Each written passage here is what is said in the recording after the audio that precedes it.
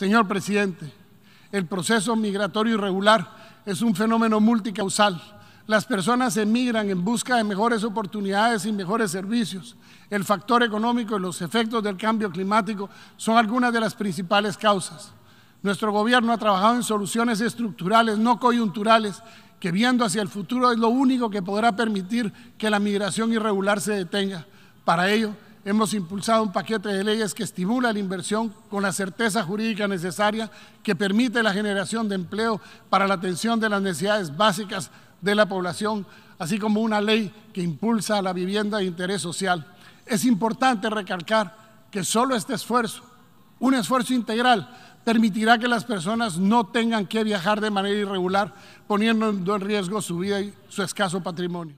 Buenos amigos, van 10 en el mismo vuelo para vía México, para Canadá, para Montreal, ¿verdad? No, para Toronto. ¿Toronto? Para Toronto. Y cuatro para Montreal. ¿Y, ¿Y en qué trabajaste en Canadá la vez pasada? En Chile Pimiento.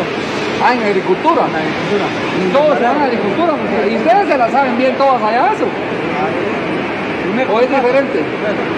Allá donde vivimos nosotros es pura agricultura. Pura agricultura. Venimos de Chimaltenango. No, yo sé, pero en Canadá también pura agricultura. Pura agricultura. Y hay chile pimiento, pero en invernadero. Sí, invernadero.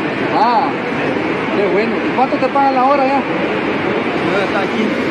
15 dólares canadienses. Sí. Imagínense 15 dólares la cana- canadienses la hora. Sí, estamos en impuestos. Bueno, de- ¿Menos cuánto? ¿Cuánto les va a quedar? Más o menos como 12, 12, 11 por. ¿Y cuánto logran ahorrar en un, en un mes de trabajo allá? Depende de, las horas. A veces uno, depende si hay, un- hay un poco de horas, más o menos como 9 mil al mes. ¿Qué tal? Al mes. Sí, O sea que después de pagar tu casa, tu comida y todo, sí, como 9 mil, ¿qué tal? Mandamos aquí en Guatemala al mes. al mes, Sí, al mes. después de comer y vivir. Sí. O sea que si a ti te pagaran acá en Guatemala, ¿cuánto te quedaría si no te irías a trabajar allá? Allá donde, O sea, por, por ejemplo, en Chimaltenango, donde son ustedes, si ganas vos 6 mil quetzales, no te vas a trabajar a otro lado. ¿Para qué? No, no dejas a la familia. No. Porque aunque ganes menos, estás en tu casa y gastas menos y vivís. Sí. O sea, lo que tenemos ahorita es que ver de alguna manera ajustar los ingresos. Sí. Pero ¿saben qué es lo que pasa? Que ustedes no tenían un empleo formal, sino que les pagaban el por día, ¿va? Sí, por el día. jornal. El jornal. Ese es el problema, el sistema de jornal aquí y no el empleo formal hace la migración. Sí, eso sí. 40, 50 ganas. 50 ganas. Porque sabes, ¿sabes cuánto con el salario mínimo? ¿Cuánto es, de- es el, el gasto o que una persona gana? Lo que una persona gana en Guatemala, contando las prestaciones, contando eh, el bono 14, el aguinaldo, la indemnización las vacaciones, es más o menos de 5 mil quetzales al mes. Pero eso solo se da en los empleos formales, con el salario mínimo. Pero ya nadie debe ganar el salario mínimo, debe ganar más. Yo, por ejemplo, estoy pagando más del salario mínimo en algunas, eh, ajustando los sueldos porque la gente no le alcanza.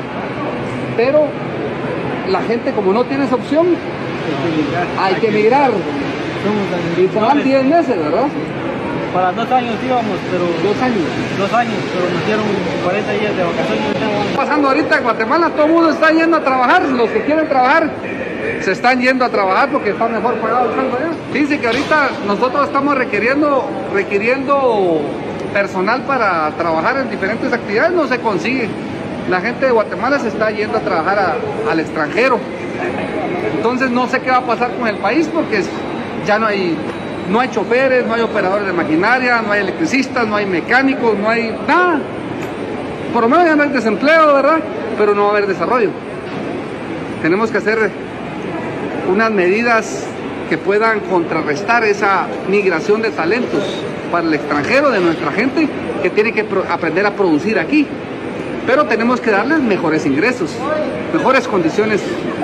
Total que, ¿qué va a pasar? No estoy seguro. No sé qué hacer. Pero lo que sí estoy seguro es que con los políticos ahí administrando, nada bueno va a pasar. Saludos amigos.